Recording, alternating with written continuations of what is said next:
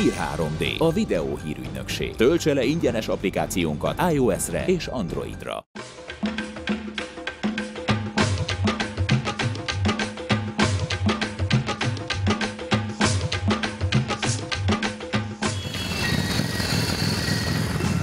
Motoros konvoj tagjaként érkezett meg a Dánfoki kemping területére Heidi Markman, Ausztrália magyarországi konzulja. A menet élén Juhász Zoltán az Ausztráliai és Békési Polgárok Egyesületének elnöke haladt, kezében a kontinensnyi ország lobogójával.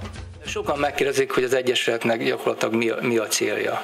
Szeretnénk, hogyha minél több ausztráliai ö, magyar hazatalálna, megtalálna itt a gyökereit, és ö, mikor én kint tartózkodtam Ausztráliába, volt egy olyan érzésem, hogy nagyon sok ö, ö, magyar-ausztrál nincs hova jönnie. Akkor volnák a legboldogabb, ha minden békésének volna egy ausztrál barátja.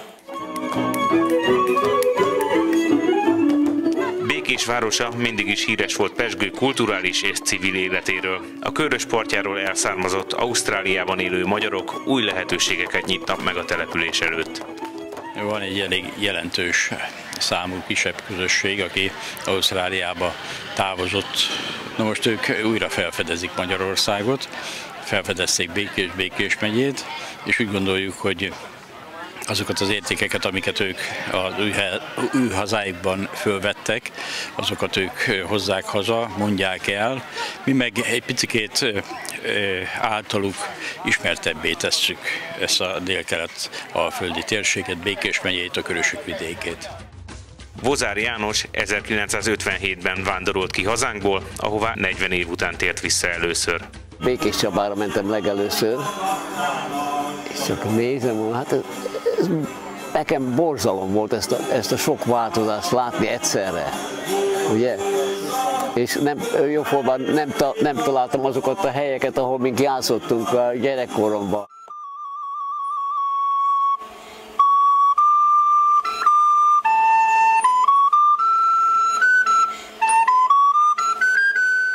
Igen örültünk, hogyha valami jót hallottunk Magyarországról, és arra tiszt, tényleg büszkék voltunk. Én is adok egy vagyok azoknak, akik legalább soha nem vezítettük el a magyar a szívünket, hogy úgy mondjam. Még ma is, hogyha például sportról van szó, és az ausztrálok vagy a magyarok együtt, én a magyaroknak fogok szorkolni. Ausztrália manapság is népszerű úti célnak számít, igazán vonzóvá az itthonitól teljes mértékben eltérő mentalitást teszi a kenguruk földjét. A szólásmondás is az, az, az ausztráloknak a nyelvezetben, hogy no worries mate. Ez azt jelenti, hogy ne is törődj, ne aggódj barátom. Majd lesz valahogy. Ez az életérzés jellemezte a világtalálkozót is.